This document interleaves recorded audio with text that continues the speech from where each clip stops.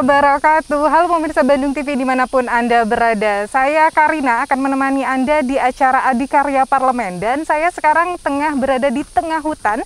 Ya tidak lain tidak bukan adalah Taman Hutan Raya Insinyur Haji Juanda. Saya akan berolahraga sedikit dan juga mengajak Anda untuk berbincang dengan berbagai narasumber Yang akan berbicara mengenai konservasi tahura. Kita langsung saja jalan-jalan. Di sana sudah ada Pak Yunandar sepertinya Assalamualaikum Pak Yunandar, nampaknya sepertinya sedang olahraga Pak Yunandar. Diganggu sedikit boleh ya Pak ya? Ya boleh. Boleh. Apa kabar Pak Yunandar? Alhamdulillah sehat. Sehat ya. Selalu Biasanya sehat suka rutin ke sini olahraga ya Pak Yunandar. Insya Allah, Gimana begitu. sekarang tahura Pak? Ya Tahura memang menurut saya ini semakin bagus ya kalau kita lihat suasananya. Mhm. Pohon-pohonnya juga semakin banyak, semakin rimbun dan di sini banyak fasilitas baru. Gitu. Mhm. Oke. Jadi memang tidak hanya eh, menjadi sebuah hutan yang seperti hutan eh, apa adanya, tapi Mhm. ada fasilitas-fasilitas yang diberikan untuk pengunjung ke sini. Ada kafe baru, ada eh, toilet di mana-mana sekarang, ada trek untuk eh, naik sepeda, begitu ya. Dan itu saya kira eh, sangat penting di era pandemik ini, ketika kita ingin mendapatkan suasana dan oksigen yang eh, segar, Aha, begitu. ya. aha, aha. Nah, artinya banyak potensi yang harus kita gali lagi. Barangkali banyak rahasia-rahasia yang masih tersimpan di tahura Ya, ini betul ya sekali, Pak ya. betul sekali. Nanti kita bicara dengan teman-teman yang Oke. memang paham sekali tentang bagaimana potensi tahura ini. Baik, kita menuju ke Plaza Tahura. Kita akan berbincang lebih banyak lagi dengan teman-teman Pak Yunandar ya Pak Betul, ya. Mari betul. Pak. Biasanya apa Pak yang dilakukan di sini Pak di Tahura? Ya, kebayang sebenarnya nongkrong ya. Kalau kita eh, lihat tempatnya sekarang itu enak sekali, banyak kafe di sini. Iya. Kemudian juga banyak tempat-tempat duduk yang memang buat ngambil foto dan sebagainya. Tapi untuk olahraga bagus sekali sebenarnya. di Selfie-selfie sini. sambil olahraga ya? Ya, betul.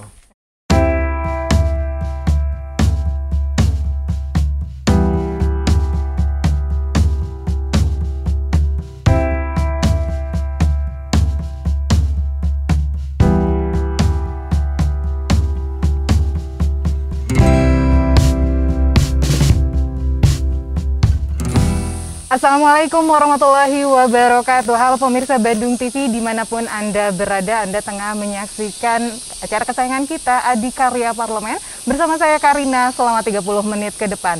Kali ini saya tidak di studio Melainkan di tengah hutan Ditemani dengan kicauan burung dan udara yang segar, sejuk, sedikit dingin ciri khas udara kota Bandung. Dan tentu saja bukan hanya kicauan burung dan juga udara yang segar, tentu saja saya sudah ditemani tiga narasumber yang akan berbicara mengenai Tahura Juanda sebagai kawasan konservasi yang terpadu. Baik, saya langsung perkenalkan dengan ketiga narasumber saya. Yang pertama di sebelah kiri saya ada Bapak Lianda Lubis SSI MT yang merupakan Kepala UPTD Tahura Insinyur Haji Juanda. Halo, Assalamualaikum Pak. Waalaikumsalam. Sehat ya Pak ya? Sehat. Segar pagi ini ya Pak ya? Dingin dingin. Dingin ya. Baik, yang kedua ada Bapak Yunandar Yuruhiyadi, Eka Perwira ST, yang merupakan anggota DPRD Provinsi Jawa Barat. Assalamualaikum Pak Yunandar. Waalaikumsalam. Ini Selamat kali pagi. kesekiannya ya di Bandung TV. Makanya Ya. pemirsa Bandung TV sepertinya sudah tidak asing dengan muka Pak Yunandar ini ya Pak ya. Semoga kita ya sehat Pak? selalu.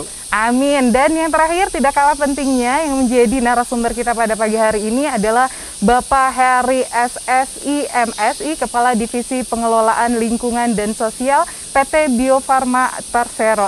Assalamualaikum Pak Heri. Waalaikumsalam. salam Sehat, Pak? Alhamdulillah. Baik, dan hari ini seperti yang tadi saya bicarakan bahwa kami sedang berada di Tahura Juanda dan yang dibicarakan pada hari ini juga adalah Tahura Juanda sebagai kawasan konservasi yang terpadu. Sebelum kepada Pak Yunandar dan Pak Heri, terlebih dahulu saya ke Pak Lianda ya. Ini eh, sepertinya Taman Hutan Raya Insinyur Haji Juanda menjadi masih menjadi primadona di Kota Bandung barangkali untuk jalan-jalan, wisata dan lain sebagainya ya Pak. Tentu saja dari tahun 85 barangkali ini ditetapkan menjadi Taman Hutan Raya Insinyur Haji Juanda itu banyak perubahan, banyak pengembangan. Nah, untuk berbicara mengenai pengembangan seperti apa konsep ke depannya Pak? Ya. Kalau pengembangan itu orang berpikirnya ya Tahura Juanda ini dikembangkan kayak gimana gitu ya. Mhm, mhm. Tapi sebenarnya Tahura Juanda itu tidak boleh berkembang terlalu besar kalau di sebuah kawasan konservasi. Mhm. Karena eh, untuk kawasan wisata ya, Mhm. karena dia ditujukan untuk kawasan konservasi. Oke.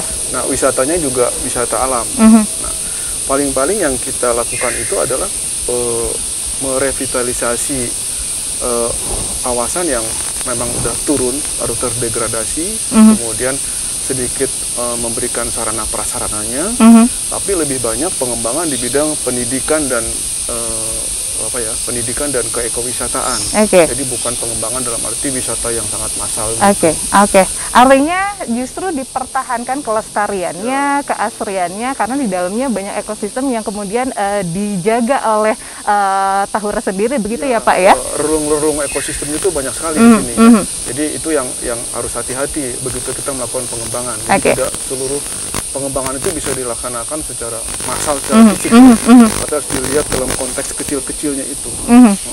Jadi salah-salah pengembangan eh, hilang satu spesies. Betul. Nah, itu dia justru yang dipertahankan ya.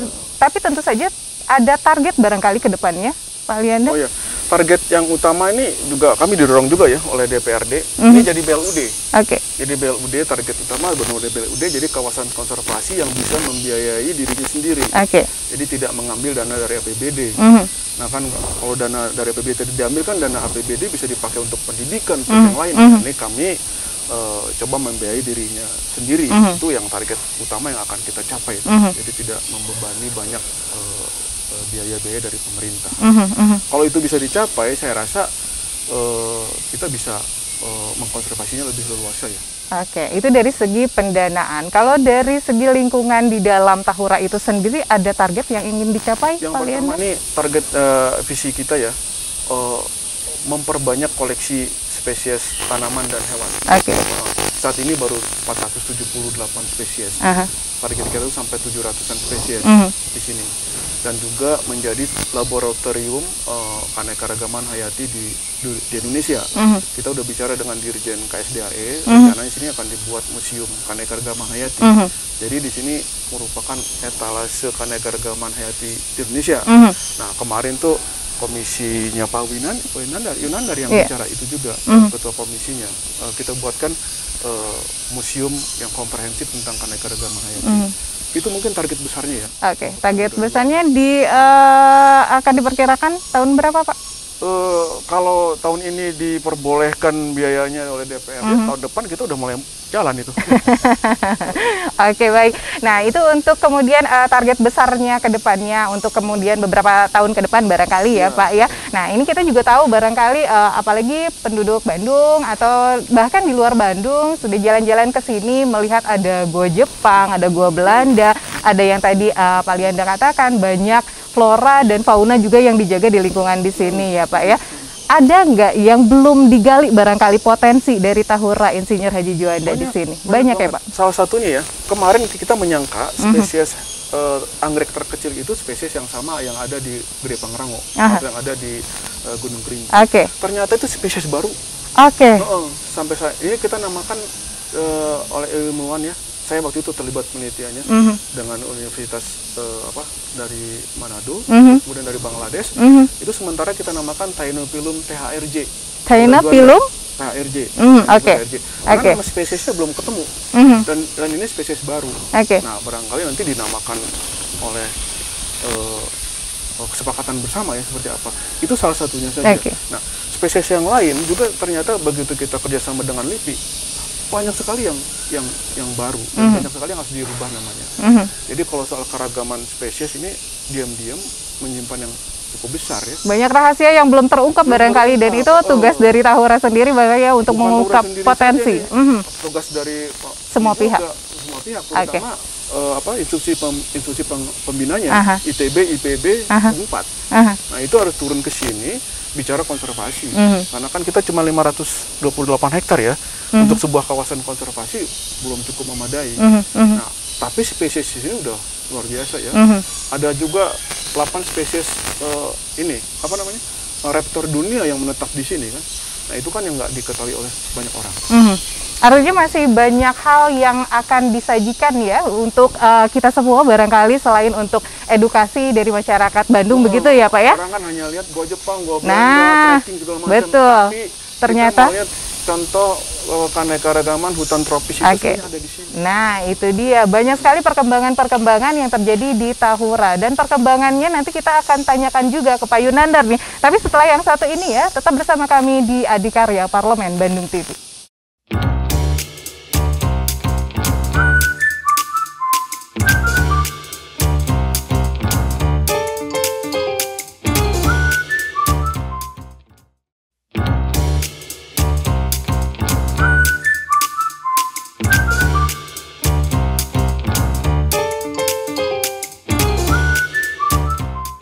Masih bersama saya Karina di Adikarya Parlemen dan masih dari Taman Hutan Raya Insinyur Haji Juanda bersama tiga narasumber saya, Bapak Lianda Lubis, Kepala UPTD Tahura Insinyur Haji Juanda, Bapak Yunanda Ruhyadi Eka Perwira SP DPRD Provinsi Jawa Barat dan Bapak Heri SSI MSI Kepala Divisi Pengelolaan Lingkungan dan Sosial PT Bio Farma Persero. Tadi sudah cerita sedikit bersama Pak Lianda mengenai pengembangan, pengembangan dan perkembangan tentu saja yang terjadi di Tahura Insinyur Haji Juanda. Nah, berbicara mengenai perkembangan, perkembangan ini erat kaitannya dengan Pak Yunandan nih. Perkembangan dari Tahura ini sendiri. Tahura e, Insinyur Haji Juanda merupakan Tahura pertama ya di Indonesia, Pak.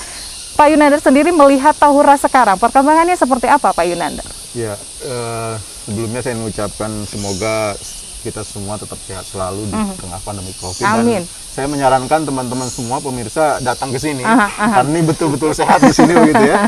Saya pengennya jalan-jalan langsung aha. buka masker di tengah hutan nah. begitu. Wah, ini luar biasa di sini.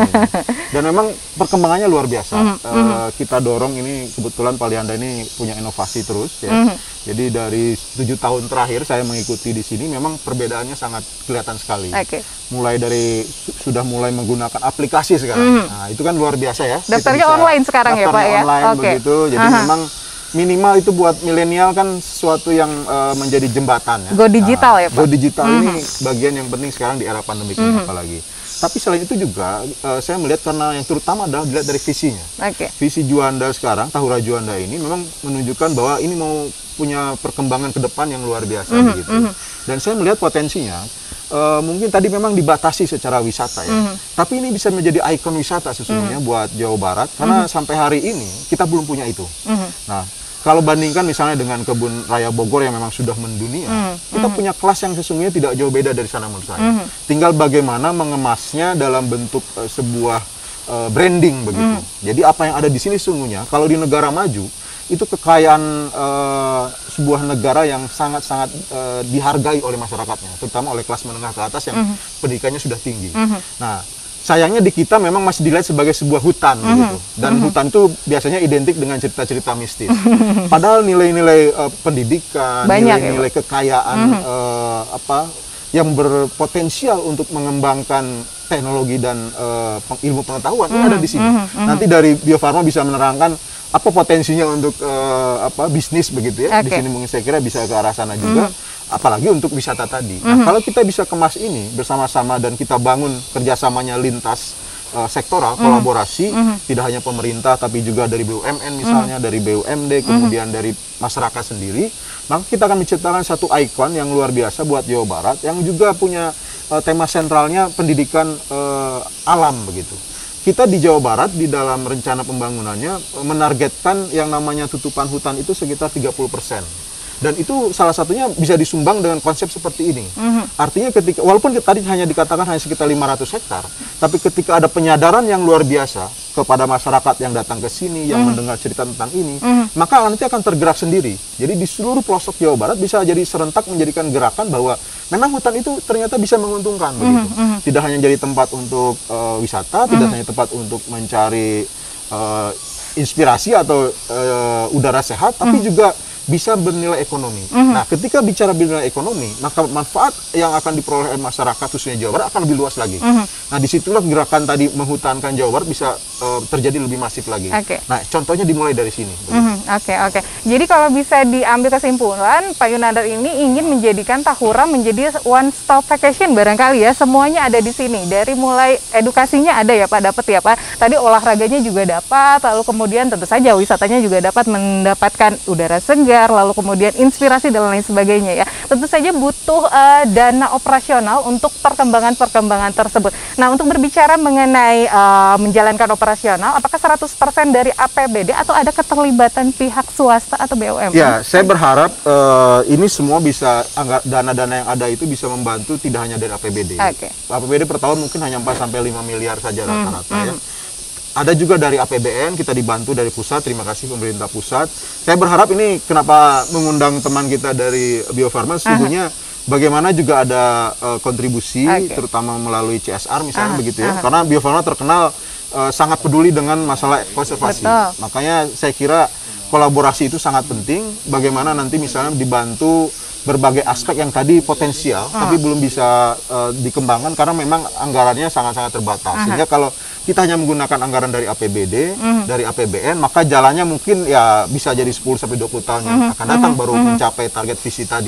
Tapi kalau bisa dibantu dari berbagai pendanaan, termasuk misalnya kita datangkan nanti dari lembaga-lembaga funding yang memang tertarik mengembangkan ekosistem yang lebih bagus di eh, Tahura ini, maka bisa jadi lebih cepat Oke. begitu. Nah, itu harapan saya seperti itu. Oke oke, jadi langsung kita langsung saja ya ke Pak Heri ya Pak Yunanda. Nah tadi Pak Yunanda sudah sedikit berbicara mengenai eh, bagaimana kalau kita mensinergikan antara Tahura dan juga Bio Farma. Tapi sebelum ke situ eh, di Bio Farma sendiri itu sedang melakukan kegiatan CSR tentu saja banyaknya di bidang lingkungan ya Pak ya. Boleh diceritakan Pak Heri? Jadi saya ingin dulu menjelaskan tentang filosofi dulu. Oke. Sehingga kenapa sih kan ada perusahaan kadang-kadang CSR itu menjadi beban. Oke. Nah, jadi saya ingin menjelaskan dulu tentang filosofinya. Ah. Jadi eh, kita berproduksi Mhm. vaksin. Vaksin kualitasnya kalau dengan kita jual kualitasnya sama, ada standarisasi katakanlah Badan Kesehatan Dunia. Kedua nilai harga. Mhm. Harga mungkin sama lah, sekian dosis, sekian dolar per dosis. Mhm. Apa yang kita bisa jual? Value apa yang kita bisa jual? Oke. Value kita adalah kita mengembangkan dengan membeli barang saya, produk saya, bapak atau ibu yang membeli produk saya adalah ini adalah produk green industry, Mhm. green vaksin industry, Mhm.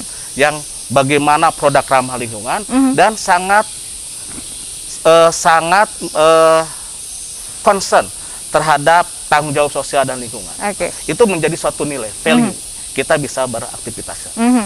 Yang ke- yang keduanya kita melihat juga dari sisi biofarmanya. Biofarma ada, ada dampak positif, ada pasti dampak negatif. Oke. Dampak negatifnya apa sih? Lingkungan. Mhm. Salah satunya lingkungan, limbah dan lain-lain. Sehingga di internal kami harus melakukan bagaimana produk ramah lingkungan, Oke. mulai dari hulu ke hilir. Mhm. Dari situ ada hal-hal yang memang kita tidak karena aturan regulasi segitu, pek. Sehingga emisinya, efek gas rumah kacanya sekian. Saya hitung semuanya. Mhm. Begitu ada nilai segitu, apa yang harus kita lakukan? Berarti kami harus melakukan pelestarian atau konser- konservasi lingkungan di masyarakat. Oke. Salah satu itu kan. Mhm. Kita lakukan, apalagi dengan eh, tujuan pembangunan berkelanjutan, kita harus ikut serta di dalam program pemerintah me- mencapai tujuan pembangunan berkelanjutan yaitu poin 13, lingkungan. Kami concern ke sana, ke aspek lingkungan. Di samping eh, sisi lain kita juga konservasi. Kita memanfaatkan sumber daya alam, hewan dan lain-lain, kita juga harus konser- konservasi. Bagaimana menyimbangkan alam. Sehingga banyak kegiatan-kegiatan kami ikut di dalam eh, konservasi yang sifatnya bukan sporadis, tetapi ada konsep dan long term. Oke. Sehingga ada pencapaiannya Mhm. jangan ngasih selesai itu ada kiss and run lah istilahnya tapi harus ada apa yang akan dicapai Oke. saya lakukan salah satunya di Cikalong pak saya lakukan pengukuran indeks ke hati oleh pihak eksternal. Kalau saya lakukan berarti kan eh, itu apa eh, orang mungkin tidak kurang mempercayai. Oke. sehingga oleh pihak independen kita lakukan penanaman pohon di Karimbi di Cikalong dan lain-lain. Hitung indeks hatinya. Berapa sih? Ternyata indeks hatinya burung indeks burung serangga itu ada kenaikan. Sebelumnya berapa sudahnya berapa. Ada peningkatan ya, Nah, Pak? peningkatan. Oke. termasuk kita menanam pohon itu kan tidak hanya menanam pohon, bagaimana pemeliharaan dan Hmm. Lain-lainnya. Yang paling utama adalah kita berbicara lingkungan tanpa ditunjang oleh aspek ekonomi atau kurang-kurang mantap. Betul. Mhm. Kita berbicara Pak jangan hijau-hijau aja, Mhm. hijaunya mana? Istilahnya kan kadang-kadang begitu ya. Kita berbicara konservasi tapi Oke. tanpa melibatkan masyarakat Aha. itu tidak akan berhasil Oke. hutan dijaga ketat tapi ada masyarakatnya tidak dijaga ini konflik Mhm. sehingga salah satu sisi ke hutan atau ke alam satu sisi juga harus ada eh, pemberdayaan masyarakat, di Masyarakat. sana sehingga Harus masyarakat sinergi ya? punya punya kehidupan dengan memanfaatkan hasil alam dan lain-lain Mhm, mhm. Nah itu dia, jadi harus sinergi antara uh, PT Bio Farma, antara masyarakat dan hal yang dihasilkan dari kegiatan uh, sosial tersebut ya, dan bukan hanya lingkungan saja yang diuntungkan barangkali Iya. begitu ya, harus Iya. sinergi semuanya. Berbicara mengenai sinergi, apakah mungkin nih PT Bio Farma ini bersinergi dengan Tahura Juanda, Pak Heri? jadi konsep kami adalah kita itu eh, makhluk sosial harus bekerja sama dengan eh, siapa pun Oke, kita tidak bisa berdiri sendiri aha, Contoh kita lakukan adalah celetuh geopark geopark celetuh Pelabuhan Ratu ya. Kita konsepnya ABGCM. Mhm. Tanpa itu kita tidak akan mendapatkan geopark Celetuh yang diakui oleh UNESCO, Oke. UGG di situ. Mhm. ya. Kita jadi apa pun kita kerjasamakan. Misalnya kita kerjasamakan salah satunya di Cikalong, Mhm. itu ABGC M akademisi Unpad, bisnismen kita, governmentnya BPPT atau pemerintah, pemprov dan komunitinya. Di samping media ya di situ ya. Oke. Jadi itu keharusan. Mhm. Kita kalau misalnya impact yang paling besar tidak bisa berdiri eh, bekerja sendiri. Kapasitas kapabilitas kita kan juga terbatas. Sehingga kita harus menggandeng.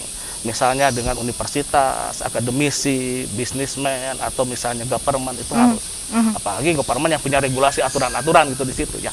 Mhm. CSR sekarang yang sedang di atau tengah dilakukan oleh PT Bio Farma sendiri itu sedang melakukan apa, Pak Heri? Nah, kita ada konservasi, kita ada beberapa poin. Jelas aspek kesehatan harus Oke, ya. aha. Kita bagaimana akses to medicine, Aha, kesehatan aha. nomor nomor tiga kita lakukan, kesetaraan gender pendidikan, termasuk di sini juga adalah lingkungan. Mhm. Yang aspek lingkungan kita lakukan banyak konservasi-konservasi dengan karibi atau dengan flora dan fauna. Kita memanfaatkan hewan, kita juga harus konservasi pada hewan. Oke. Kita banyak kerjasama pelepas liaran hewan. Mhm. Kemarin itu ada lutung, ada elang, Mhm. itu banyak bu di baik itu di daerah Sukabumi atau di daerah Ciwidey. Kita lakukan di situ, termasuk beberapa penanaman pohon yang khas endemik. Mhm.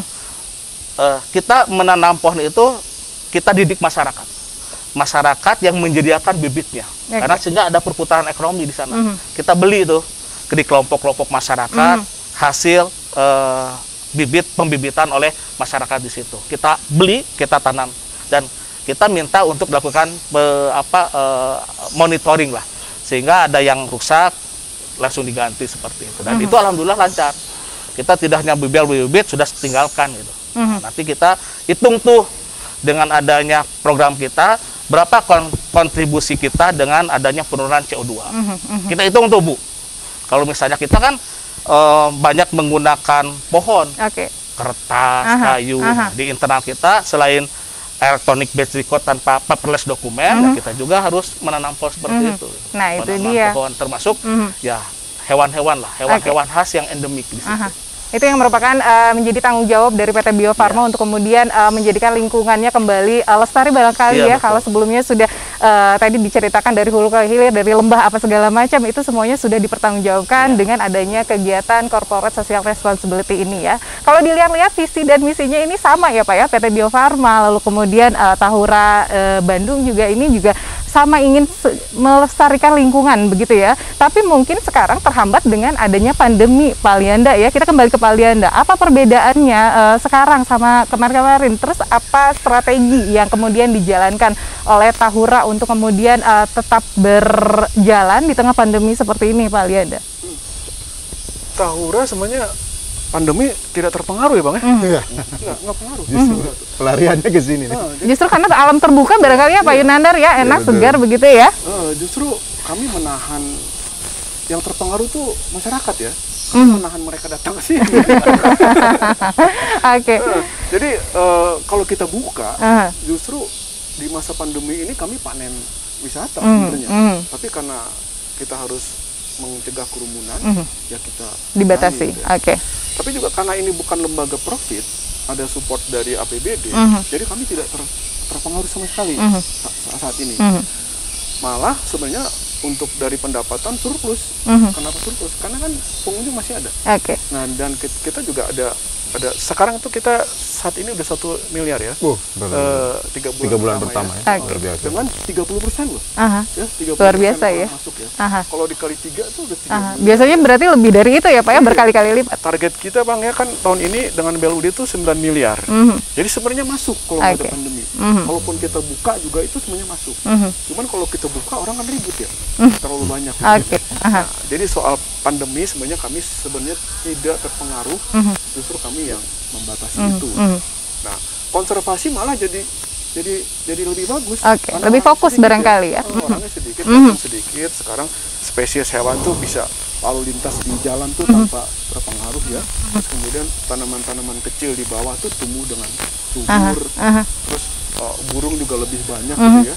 Justru dengan konser dengan pandemi ini Tahura tuh lebih apa ya lebih lebih meriah untuk mengkonservasi dan Aha. eh, berkegiatan di dalamnya. Aha, aha. Itu jadinya. Dan Justru dijadikan momen barangkali ya Pak Lianda ya, momen untuk kemudian uh, meningkatkan tadi menggali potensi yang belum digali ya. KLH datang ke sini, ini mau dijadikan forest healing, healing, healing forest. Mhm. Jadi tempat eh, eh, apa namanya untuk healing ya. Oke. Nah, mereka lagi survei, kayaknya kepilih nih Tahura Juanda untuk healing forest. Mhm. Jadi kalau udah kepilih gitu, ya kita punya satu icon lagi bahwa ini jadi healing. Healing Forest ya. Nah, mungkin ada beberapa perbedaan tadi sebelum dan setelah pandemi yang tadi sudah disinggung oleh Pak Yunandar. Kemudian tadi uh, cara atau SOP-nya kemudian berubah dari uh, 100% menjadi 30%. Lalu kemudian cara pendaftarannya juga secara online. Mungkin itu ya perbedaan uh, yang terasa ya semuanya, Pak. Semuanya tercatat, yang Oke. datang tercatat dari mana asalnya tercatat. Kita bikin aplikasi baru yang dulu nggak pernah disetujui ya orang Manda ya.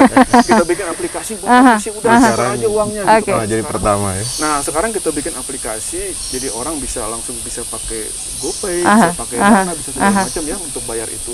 Jadi jauh lebih mudah. Iya. Justru kami mendapatkan akselerasi eh, apa namanya ya, transaksi yang cukup besar Mhm. dengan adanya pandemi ini. Jadi kalau buat Tahura itu berkah banget ya Oke. sebenarnya ya. Cuman buat pengunjung nggak berkah karena mereka nggak datang di sini nggak bebas. ya. Iya, semoga semuanya berjalan dengan uh, lancar lagi. Semoga Indonesia segera sehat. Nah, nah, jadi kembali jalan-jalan ke sini ya. kehilangan rata-rata 100 sampai 200 orang lansia tiap pagi yang jalan ke sini. Karena kan lansia nggak boleh berkeliaran ya. Mhm. Oke. Sementara ini sel- selama sebelum pandemi itu itu lansia itu kemarin hampir 100 200 orang tiap hari. Oke. Datangnya tuh dari dari Berbagai kota. bawah, macam. Nah, Mereka punya kelompok-kelompok tuh memang mereka buat healing di sini. Mhm. Biasanya apa saja sih yang dilakukan selain olahraga, melihat-lihat keanekaragaman uh, tanaman, lalu kemudian hewan dan lain sebagainya? Mereka berbicara sama pohon. Oke, bersatu dengan alam ya Pak ya? berbicara dan memeluk pohon gitu Oke. ya. Karena ada ada ada ada satu trik atau satu cara bagaimana mereka sehat itu, ya. terutama pohon-pohon yang besar. Mhm. Nah itu mereka bisa mereka lakukan itu. Mhm. Pertama kami juga lihatnya aneh-aneh ya, tapi setelah itu kita lihat Mengerti, akhirnya mengerti. dan dan mereka bilang kami banyak sembuh di sini. Oke. Tapi memang benar kalau tahura itu datang ke alun-alun kita bersin. Karena biasa bersih barangkali di sini. Gitu ya. Tidak ada polutan di sana mungkin ya? Ada mobil satu aja lewat di sini itu kita ketahuan ada asap Oke, gitu. aha. Jadi semuanya orang tahura itu kekurangannya itu rentan kalau keluar. Oke. Karena terbiasa di sini bersih, lalu kemudian keluar banyak polutan, jadi Banyak tidak polutan, terbiasa tidak ya? rentan, jadi agak agak bersih bersih. Oke. Nah yang sakit-sakit tuh suka datang ke sini bang. Iya. Pak ya suka Healing tadi sini. itu Healing ya? ke sini. Nah yang lanjut-lanjut usia itu datang ke sini. Oke. Nah di masa pandemi kami kehilangan itu. Iya, itu hal-hal ya momen-momen yang dirindukan ya Pak ya. Apa harapan Pak Lianda mungkin? Ya saya harapan saya sama seperti orang lain ya. Semoga pandemi selesai, vaksin cepat semuanya dapat Mhm. ya. Terus kita kemudian berkumpul lagi di sini. Terus kemudian kita berbicara. Kan program kita kan ini juga menjadikan ruang budaya ya, ruang budaya dan ruang kreatif itu bisa terjadi. Nah, kebetulan kami juga baru kali ini ketemu Bio Farma, eh, tapi eh, kalau secara personal orang Bio Farma banyak kemari, cuman secara kelembagaan belum pernah ya. Mhm. Nah, dibawa oleh Kang Yunandar kemari. Ya, saya yakin nih ada kerjasama lebih konkret nantinya. Pak Yunandar tanggapannya Pak? Ya, ini luar biasa hari ini sebenarnya. Tadi mendengar eh, dua pihak dari Tahura maupun Bio Farma. Itu kalau kita bisa mengkolaborasikan dua hal tersebut, ini akan jadi sebuah eh, percepatan yang menguntungkan. Tidak hanya untuk Tahura, buat Oke. Bio Farma juga. Karena branding ketika misalnya Bio Farma itu bisa membantu mengembangkan eh, ekowisata atau edu ekowisata di sini, itu juga sangat menguntungkan untuk meningkatkan citra dari Bio Farmanya sendiri. Yang sekarang memang sudah sangat dikenal dan kita sangat tergantung sekali dengan Bio Farma. Apalagi terutama jaraknya- vaksin pandemi ini. jaraknya sepelemparan batu ya, ya. karena tadi karena di Bandung begitu.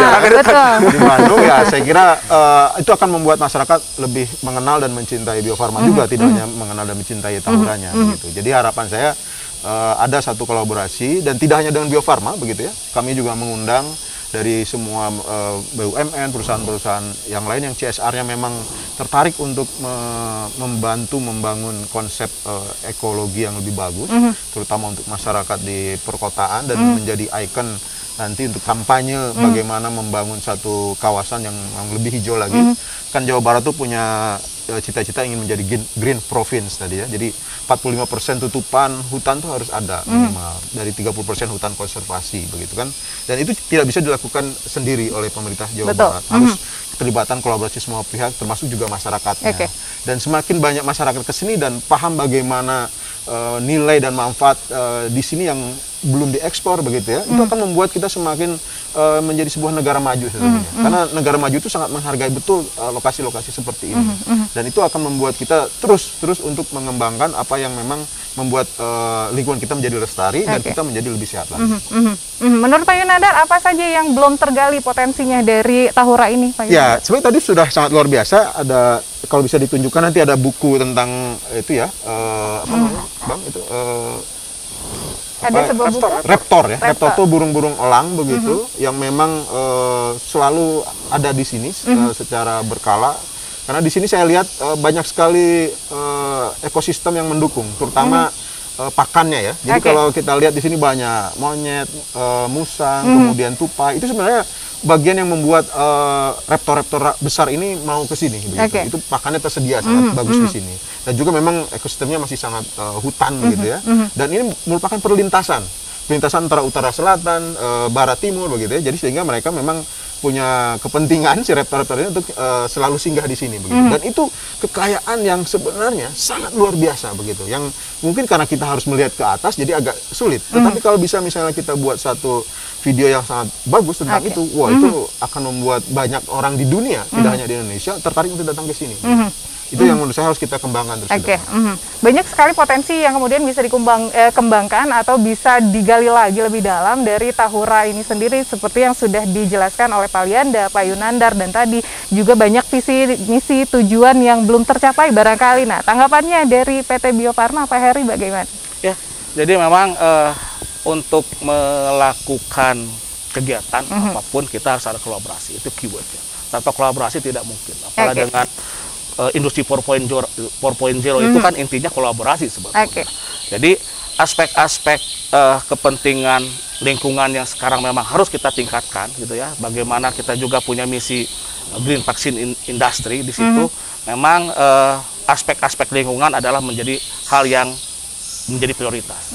Karena akan di, di- dirasakan bukan oleh kita, tetapi oleh anak cucu kita di situ gitu.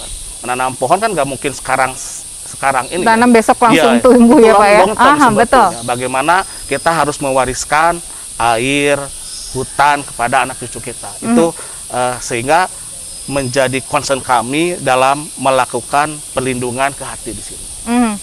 Mhm, Jadi begitu ya Pak ya sinergi antara semua pihak dari PT Bio Farma, dari DPRD eh, Provinsi Jawa Barat, lalu kemudian dari Tahuranya itu sendiri. Nah itu dia semuanya harus bersinergi antara semua pihak yang kemudian Tahura itu sendiri lingkungannya akan tetap terjaga. Kita akan melindungi eh, lingkungan, maka lingkungan akan menjaga kita barangkali begitu ya Pak ya kurang lebih ya Pak ya. Nah baik terima kasih kepada Bapak Lianda Lubis SSIMT Kepala UPTD Tahura Insinyur Haji Juanda. Terima kasih kepada Bapak Yunanda Ruhia Eka Perwira ST anggota DPRD Provinsi Jawa Barat. Terima kasih kepada Bapak Heri SSI MSI Kepala Divisi Pengelolaan Lingkungan dan Sosial PT Bio Farma Persero. Semoga segera terjadi kerjasama yang bersinergi antara kita semua barangkali ya Pak ya. Terima kasih Anda juga telah bersama kami selama 30 menit ke belakang. Saya Karina mewakili seluruh kerabat kerja yang bertugas pamit undur diri. Assalamualaikum warahmatullahi wabarakatuh. Waalaikumsalam.